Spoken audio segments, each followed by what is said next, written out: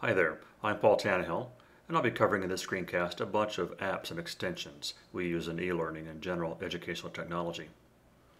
So I've got my browser set up with a bunch of tabs with the various apps I'll be talking about. First off the bat is Socrative. You'll see Socrative is a tool that lets teachers engage and assess their students with educational activities on tablets, laptops, and smartphones. Let's look at Quizlet. Quizlet is basically a tool that a high school sophomore built to help him study his French. And it's kind of neat the story behind that, but it's a pretty cool little tool for building quizzes.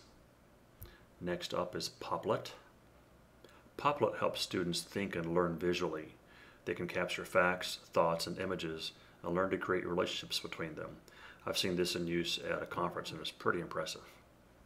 Next up is Wordle. Wordle generates word clouds from text you provide.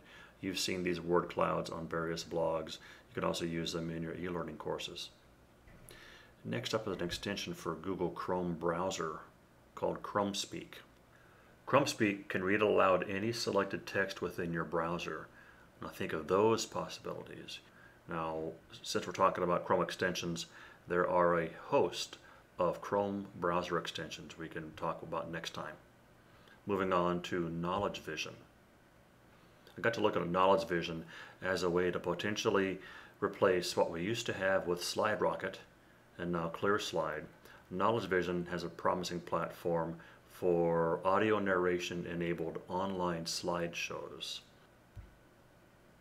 Lastly, next to lastly I should say, is related to audio and e-learning is a nice blog post I found recently talking more about audio and e-learning. Now lastly, a really nice site showing the best study apps, tools, tips, and techniques. First off is Writer. I haven't used this app, but it says it saves your notes automatically as you type them. Now there are a number of note-taking apps. I've used a few and I like, I like uh, a couple of three of them actually both as standalone apps and as browser extensions. I should do a future video on that. Rescue Time looks handy if you spend too much time on Facebook, etc., etc., on non-study related activities. Rescue Time can help you track the time you spend on those activities and get you focused where you need to be. Probably my favorite app among all this collection is Evernote. Been using Evernote now for about five years and in my Evernote, I have got stuff that I've collected up over the years.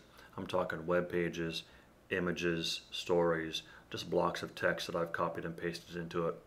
And it collects them up into collections that you can access on your laptop, your desktop, your tablet, your mobile phone, all across those devices into your one Evernote account. And you come across something that you don't need right now, you might use next week or next month, it's in your Evernote. This is a great app. I recommend it. It's great for saving lists and bookmarks or even whole web pages. And that doesn't even scratch the surface. Evernote is terrific. I'm kind of a fan. Next we have iStudiez Pro. Helps you track school assignments and projects, save notes, manage tasks, and organize complicated schedules. Looks like it's be good for students. Questia is a web-based library features the largest online collection of magazines, books, journals, papers, and articles. Sounds pretty amazing. Inspirations can help you get your thoughts in order. I could use that. Brainstorm ideas and set daily, weekly, or monthly goals for your learning. Now Do This is a simple but efficient tool for tracking tasks. A few different task managers out there. This looks pretty promising. Zite says it helps you keep up with the best content from your favorite blogs, websites, even Twitter streams. Looks like it's a collator.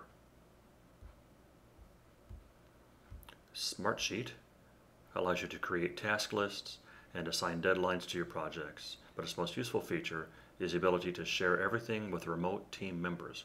A collaboration, that's good stuff. Voice reading app can help you get some of your course reading out of the way while you drive the kids to school, head to work, or to do the dishes, etc. Sounds like it might be pretty amazing for students. Reference generator Constructing, organizing, and managing academic citations can be tedious, but Reference Generator makes the whole process easy. Now, there are a number of citation generators that I have seen and read and heard about. Lastly, we've got CAM Scanner. Research shows that taking notes by hand can improve long-term retention. That is true for me. But it can be difficult to keep track of handwritten notes. Looks like this is an app that you can scan anything right into your phone or tablet by just taking a picture, and then the scanned documents can be converted to PDF and sent to your laptop or other devices. Now this may or may not be similar to what I've used for about the last six years. That's my LiveScribe pen. Now that is a handy tool right there. Of course, we're out of time during this screencast, but maybe a LiveScribe pen screencast, huh? I'd like to quote this and always keep this in mind with all the cool ed tech stuff that I cover. Although productivity apps can certainly be useful in many cases, keep in mind that it is possible to have too much of a good thing. Choose your apps carefully and make sure that each one will actually help you rather than serve as yet another distraction. We keep our focus not on the technology, but on ways we can help our students increase learning and retention and success.